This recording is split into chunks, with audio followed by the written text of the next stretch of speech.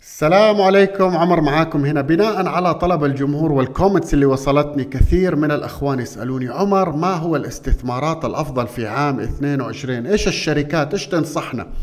هدف حلقة اليوم أني أعطيكم من وجهة نظري أفضل عشر شركات الاستثمار فيها في عام 22 ليس مبنية على ترتيب معين ولكن من وجهة نظري وجودها كهذه الشركات في محفظتك الاستثمارية مجدية في عام 22 طبعا قبل ما نبدأ حلقة اليوم اللي يحب يتعلم أمور الاستثمار وما أجمل الاستثمار بطريقة علمية وتحليل القوائم المالية واختيار الشركات كده لا لها مستقبل تتوقع المستقبل لها وتتضاعف. كورس متكامل تلاقوا تفاصيلها في الديسكربشن ونبدأ حلقة اليوم. الاختيارات طبعا مبنية على كذا عامل. أول شيء يا إما موجودة في محفظتي الاستثمارية أو سأقوم بتعزيز أو قمت بتعزيز شرائي في الأسابيع الماضية. شيء ثاني طبعا يوجد بعض الشركات اللي من وجهة نظري ما زالت في الواتش ليست عندي ما اخترت هذه الشركات ولكن أراقب سعر السهم، سعر السهم نزل بطريقة عالية ففرصة الآن للاستثمار فيها ولكن أنتظر سعر معين للشراء. كثير وأغلب الشركات اللي أنا بتكلم عنها هي استثمارات طويلة يعني من خمسة إلى عشر سنوات على الأقل أعتبرها حتكون إن شاء الله مجزية في عام 22 ولكن حتى لو ما كانت مجزية وجودها في محفظتك الاستثمارية مهم جدا لأنها شركات مميزة.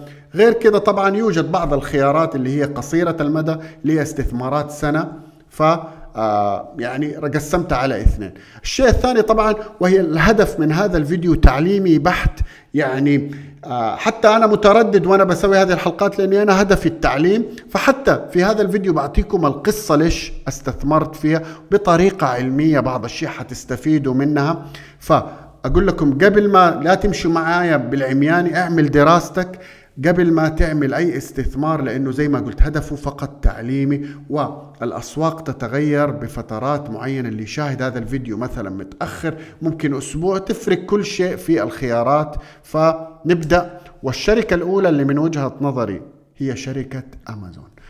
ليش يا عمر أمازون وأبدأ؟ أقول لكم ليش؟ لأنه هذه الشركة من عام منتصف عام 22 ما قدمت شيء للمستثمرين. شوفوا لو نقارن مثلا شركة أمازون بفيسبوك وألفابت. شركة أمازون خلال تقريبا عام 21 ما رجعت إلا تقريبا 3% مقارنة بألفابت اللي رجعت تقريبا 64% وفيسبوك 23% فتقدروا تقولوا كان استثمار غير مجزي لفترات طويلة يعني أكثر من سنة ونص أمازون ما قدمت شيء للمستثمرين.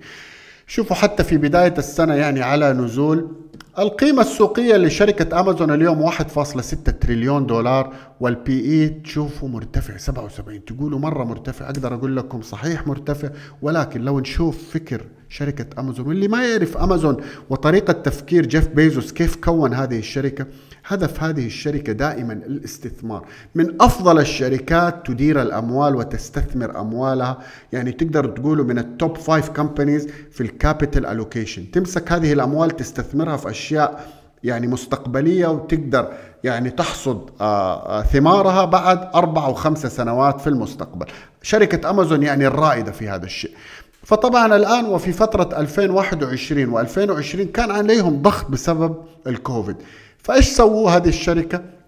قامت باستثمار بشكل عالي جدا في الأمور ال capex خلينا نشرح كده بطريقة سريعة إيش يعني ال free cash flow ال free cash flow ال operating cash flow اللي هي ربحية الشركة من العمليات طرح أي استثمارات ستقوم بها الشركة. لو تشوفوا ال free cash flow بالنسبة للشركة وهذا أثر على الشركة نازل نازل بطريقة عالية جدا في عام 22 في عام 20 و21 21 صار بالسلبي ال free cash flow أسبابها الرئيسية أنه الشركة قاعدة يعني تستثمر أموالها بشكل عالي جدا في الأمور زي ال fulfillment center زي ال warehouses زي يعني تبى تعمل شبكة متكاملة أكبر من الشبكة اللي هي موجودة عشان توصل المنتجات في أسرع وقت بأرخص الأوقات وبأرخص الأسعار.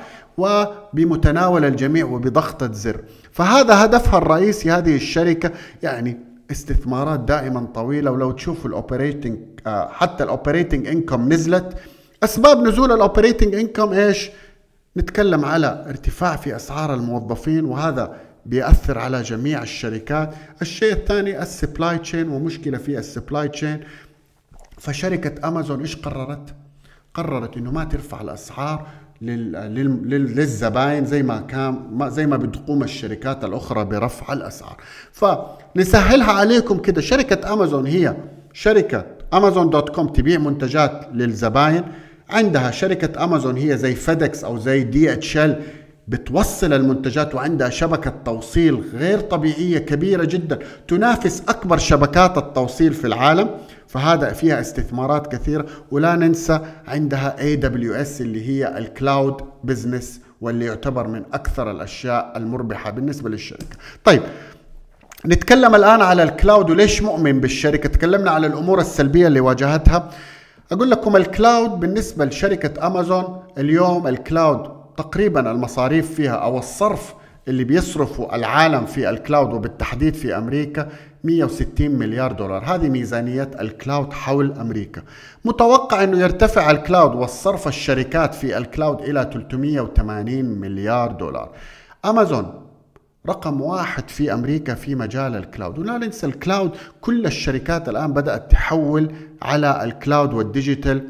ف إذا نسبة 32% تسيطر شركة AWS أفضل من Azure اللي هي مقدمة من أمازون أفضل من Google Cloud اللي 9% فالمستقبل عالي جدا في قطاع بينمو بشكل سريع جدا. يعني متوقع يتضاعف هذا القطاع في أقل من خمسة سنوات.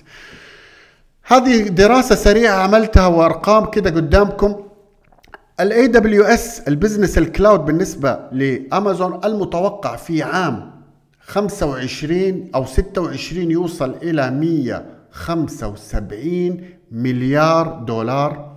ربح ال cloud مقارنة بالمبيعات عالي جدا يعني بنتكلم أكثر من 30% فمن المتوقع ال cloud business حيشهد نمو عالي جدا. من 9 من 9 شوفوا 9 مليار كان في 2019 اليوم في عام 2021 تدبل هذا الرقم إلى 18 مليار متوقع ثلاث أضعاف في الخمسة أو الخمسة سنوات القادمة أن يصبح 52 مليار. إذا نأخذ ال multiple ولو تتذكروا ال multiple اللي تكلمنا عنه لشركة أمازون هو 77 يعتبر عالي جدا. أنا قررت أني أخذ فقط 25 ال multiple. اليوم سعر بس ال cloud business لو أخذنا وتوقع الأرقام اللي إحنا تكلمنا عنها و1.3 تريليون دولار هو ال cloud. قيمة الشركة اليوم 1.6 مليار. يعني طنشنا كل شيء بتقدمه. أمازون من ناحية ال DHL service من ناحية المبيعات. لو نتكلم على مبيعات أمازون dot com اللي هو ال retail business شوف النمو بالنسبة للمبيعات. من 386 مليار إلى 470 مليار. متوقع 956 مليار دولار. ربحية ال cloud business أو ربحية أمازون dot com قليلة. نقدر نقول 3% ف 75 مليار دولار هو الربح الصافي بالنسبة آه، لأمازون dot com. هذا يعتبر لو ناخذ كمان multiple 20 فقط أو 25 إحنا بنتكلم 1.5 مليار تريليون دولار. يعني لو نجمع الاثنين مع بعض على الأقل أمازون من وجهة نظري ستتضاعف في الأربع سنوات القادمة. هذا يعني من وجهة نظري. وجودها في المحفظة الاستثمارية مهم جدا. خليني أنا أديكم إيش الزبدة بالنسبة لي. أنا أملك شركة أمازون في محفظتي. عندي 37 سهم. عندي قيمتي تقريبا 2900 سعر السهم. عندي تقريبا 5% في محفظتي الاستثمارية قم بشراء بسيط جدا في الفترات الأخيرة. أرى أنه ربما ينزل أكثر ولكن يعني ما زلت مؤمن في هذه الشركة وأقدر أضيف أكثر من 5% في هذه الشركة. سعر السهم اليوم مرتفع بعض الشيء ولكن مقارنته بالقيمة الجوهرية للشركة أراها مناسبة. أعتبرها من الشركات الآمنة و الشركة لا أنوي أن أبيعها في العشرة أو حتى 15 سنة القادمة نخش على الشركة الثانية اللي هي IXC iShares Global Energy ETF وهذا ETF مركز على أغلب الشركات اللي لها علاقة في الإنتاج وال production بالنسبة للطاقة. تدفع عوائد وأرباح موزعة تقريبا 3.65 رقم مميز في الفترة الزمنية اللي إحنا فيه. لو نشوف بعض الشركات اللي موجودة إكسون موبيل شيفرون توتال بي بي رويال داتش طبعا بعض الشركات هذه أنا موجود عندي أصلا في محفظتي عندي بي بي مشتريها من عام 20 رويال داتش كمان عندي في محفظتي هذا ETF متكامل يبعدك عن المخاطر اللي موجودة في شركات الطاقة. يركز هذا ال ETF على شركات الطاقة الأمريكية وشركات الطاقة العالمية. طبعا نركز ونرجع نبين للناس. أداء هذا ال ETF السنة الماضية 40% أداء هذا ال ETF في آخر ثلاث سنوات فقط 3.3% يعني أسوأ بكثير من المؤشر أداؤه في الخمس سنوات الماضية أقل من بال minus. يعني يعطيك انطباع إنه هذا ال ETF يعني ليس نظرة طويلة وقطاع الطاقة دائما يتحرك بتذبذب عالي جدا. ليش مؤمن فيه في عام كنت مؤمن فيه في عام 20 وضفت بعض الاستثمارات في عام 22 أقول لكم ليش؟ لأنه هذا ال ETF أول شيء يعني بينزل بطريقة غريبة كان ولا يمشي مع ال Brent oil. اليوم ال Brent oil يعني لو نطالع ماشي هذا ال ETF كأنه البرنت تقريبا 52 سعر البرميل 52 مع العلم إنه سعر البرميل اليوم صار 80 فلازم هذا ال ETF ينطلق ويطلع بسرعة جدا. غير كده طبعا إنه شركات الطاقة أغلبها الآن قللت استثماراتها في البنية التحتية. قررت إيش؟ ما نبغى نزود الإنتاج ما نبغى نرفع في البنية التحتية. كل هدفنا هو إنه نرجع الأموال للمستثمرين نشتري أسهمنا أو نوزع أرباح موزعة. وشوفوا مقارنة الاستثمار ال CapEx بالنسبة لشركات الطاقة في العشر سنوات الماضية كانوا بيصرفوا تقريبا 127 107 اليوم فقط بيصرفوا أقل من 40 وحتى 35% من ال free cash flow بالنسبة للشركة ك CapEx. فهذا يعطيك انطباع إنه الاستثمارات قليلة جدا وكل هدف هذه شركات الطاقة إنه تطلع أموال بطريقة عالية جدا يرتفع سعر سهمها وترجع بعض الأرباح للمستثمرين.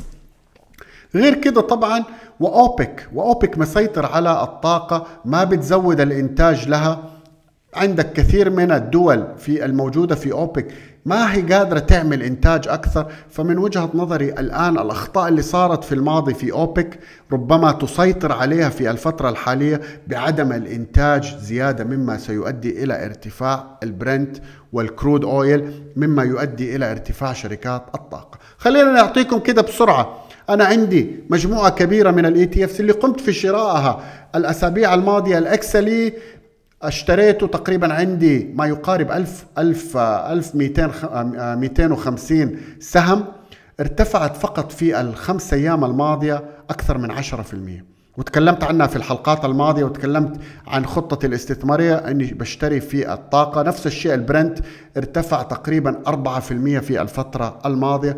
سعر المؤشر جيد لكنه ارتفع بشكل عالي في الفترة الماضية. ما زلت مؤمن أن الطاقة حترتفع أكثر في الفترة القادمة مع العلم أنه إحنا في مرحلة يعني الناس والمستثمرين يبغوا أرباح موزعة اليوم مع التضخم. زي ما قلنا ارتفع بشكل عالي في 2022 القطاع الأفضل أداء. أعتبر الاستثمار في الطاقة سنة نظرتي قصيرة للاستثمار فيه لأنه سيواجه يعني تذبذب عالي والأسعار بتطلع بطريقة عالية فيجب أن تكون حذر. والمخاطرة طبعا في الطاقة وأي شيء له علاقة بالسلع والكوموديتيز المخاطرة عالية. طيب نيجي على الشركة الثالثة واللي تكلمت عنها كمان Berkshire Hathaway شركة وارن بافيت اللي من وجهة نظري من أكثر الشركات المميزة من أكثر الشركات المتنوعة. أعتبرها كأنك بتستثمر في مؤشر ال S&P 500 بطريقة حلال. ما عنده أي شركة فيها محرمات. فكثير من الأخوان اللي ما يحب يستثمر في مؤشر ال S&P 500 لأنه فيها محرمات أنصح تستثمر في شركة Berkshire Hathaway شركة مدارة من أفضل عقليه استثمارية في العالم وبدون ما يدفعك ريال واحد أو درهم واحد. أداء هذا ال ET... هذا أداء Berkshire Hathaway ويعني تقدروا تقولوا على ارتفاع مميز جدا. شوفوا مقارنته بال S&P 500 لو استثمرت في عام 2 21 January أداؤه أفضل من مؤشر ال S&P 500 تسألوني عمر ليش مؤمن بهذه الشركة وأقدر أقول لكم مؤمن فيها لأنه لو نطالع بال book value بالنسبة للشركة اللي ما يعرف إيش ال book value أو ال price to book value طبعا اشرحها في ال course أكثر ولكن يعني من المؤشرات المهمة اللي تشوف فيها شركات المتنوعة. شركة Berkshire Hathaway تملك أشياء كثيرة تملك أشياء لها علاقة بالشحن والقطارات لها شركات تأمين لها شركة Apple Coca-Cola آه، تملك كثير من المنتجات شركة آه، آه، Berkshire Hathaway ال book value بالنسبة لها 1.2 مقارنة بالتاريخ عبر أكثر من خمس سنوات ويعتبر من أقل ما يكون. يعني الفترة الوحيدة اللي هي أقل منها كانت في عام 20 فنقدر نقول ال book value بالنسبة للشركة مميز. الشيء الثاني يملك Berkshire Hathaway جزء كبير من شركة Apple أكثر من 5% من المستثمرين في Apple هي شركة Berkshire Hathaway تقريبا نقدر نقول 25% من ال market cap حق Berkshire Hathaway هي شركة Apple شركة Apple طالعة 500% تقريبا مع العلم أنه Berkshire Hathaway فقط 70% فأقدر أقول لكم أنه أرقام Apple ما صارت تخش بطريقة علمية في شركة Berkshire Hathaway. عشان كده أتوقع إنه بيركشير هاثاواي حتطلع أكثر. اليوم القيمة ال market cap بالنسبة لبيركشير هاثاواي 700 مليار دولار. أتوقع إنه توصل المليار الواحد تريليون دولار في الفترة القريبة. أعتبرها من الشركات المميزة اللي تحطها في محفظتك لفترات طويلة. أنا طبعا مستثمر في بيركشير هاثاواي عندي أكثر من 315 سهم. قيمة السهم عندي ب 100 200 دولار. عندي ما يقارب ال 4.27 في محفظتي الاستثمارية أنوي الاستثمار فيها أكثر. قمت بشراء بسيط في الفترة الأخيرة في بيركشير هاثاواي آه، أعتبرها سعرها معتدل مقارنة بالقيمة الجوهرية.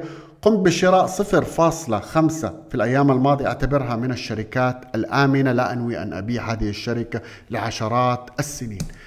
نيجي على الشركة الرابعة اللي أنا دائما أتكلم عنها واللي ما شاف حلقتي عن علي بابا حط لكم ال link. تكلمت عنها بشكل سريع. حابة أنوه عنها أكثر من الشركات اللي أنا أحطها في ال top 10 ال P/E بالنسبة للشركة 15 قليل جدا. شوفوا تذكروا هذا ال market cap 351 مليار دولار.